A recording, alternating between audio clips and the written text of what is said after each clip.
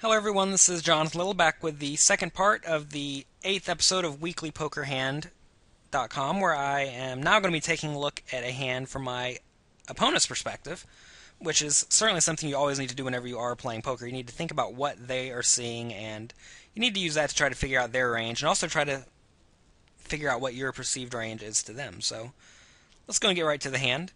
Here, J Card Shark, that's me, um, opens to 150 from the button and Jake Hamby elects to flat call with King 8 suited from the big blind. And right here, I think that re-raising is probably going to be a little bit more profitable than flat calling, unless he thinks I'm going to do a lot of four betting, which honestly I'm probably not. But um, if Jake Hamby does three bet here to something like 525, that's going to put Jay Card in a pretty tough spot, and he's probably going to call a lot of flops, but then fold to a flop and or turn bet.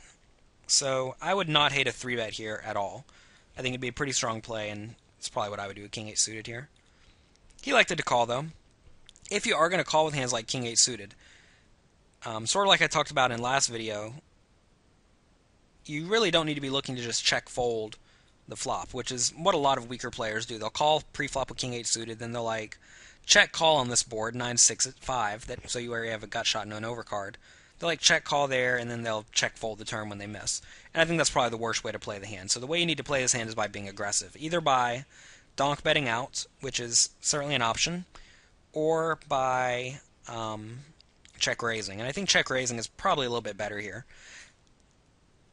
If the like a, one of these cards was a club giving you a backdoor flush draw, I'd really like a check raise. Um, but I, I wouldn't really hate a bet here of like 225. I think that would be pretty powerful as well anyways, he does like to go for the check raise, which I think is either play. I think in this spot is better than the check fold. I think this is going to get Jay Card Shark off of all of his overcards, which is certainly in his range. And if he does have something like seven six or seven five or ace six, he's probably going to call once and then fold to a turn bet. So when Jay Card Shark calls this bet, you have to put him on a range sort of like a pair or better, and that he will probably fold to on a good turn. This, however, is a bad turn. So what Jake Hamby should probably do here is throw out another bet and then also bet the river if the river is a card higher than a 9 or if it's a 7 or 6. So I guess a 6, 7, Jack, 10, 10 Jack, King, Queen, or Ace. I, those are probably going to be good barrel cards. And I, I, know this probably looks a little bit dicey because I'm, I'm effectively saying this guy should be willing to run a big bluff here. And I don't really think it's too out of line because if you have an aggressive guy on the button, J Card Shark raising probably a decent amount of buttons, you want to do everything you can to slow him down. And if it requires you to throw out a decent sized bluff that you may even lose a touch of equity in, it's probably not that big of a deal because it may slow down J Card Shark in the future, and that's ideal. So I definitely don't mind a bet here, but if I bet here, I am going to be very willing to, fi- to fire a lot of turn a lot of rivers.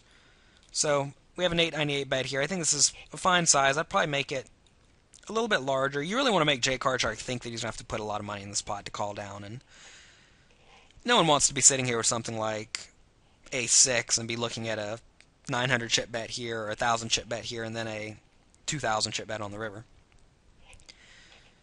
So, anyways, J Card Shark calls. When J Card Shark calls, I think he, he's going to have something like 9 8, maybe 10 9, ace 9. I guess I could have any 9, really. Um, not 9 5. He could have 9 6, though. I think that Jay Shark could probably have ace 6 here as well. Probably not looking to fold that quite yet. Certainly could have overpairs.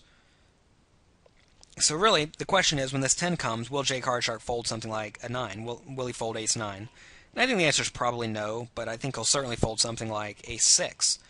So now if you bet, you have to re- whenever you're making a bet on the river, you always need to try to figure out what you're trying to get your opponent off of. And if the answer is a hand that they're not going to fold to any bet, betting's probably pretty awful.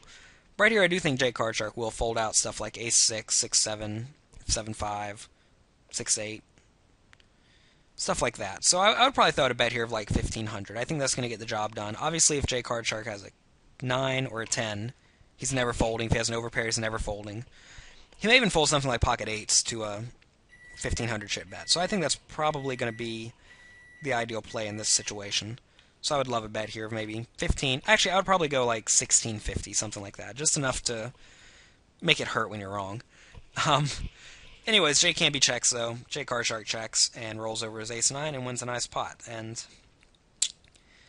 I don't really think Jake Hamby went wrong on this hand until the river. And this is one of those rare, rare spots where I do think throwing out a three barrel, even against an aggressive semi calling stationist type player, is probably not that bad of an idea. So this has been Jonathan Little for Weekly Poker Hand. Please let me know if you guys have any questions or comments. And thank you for watching.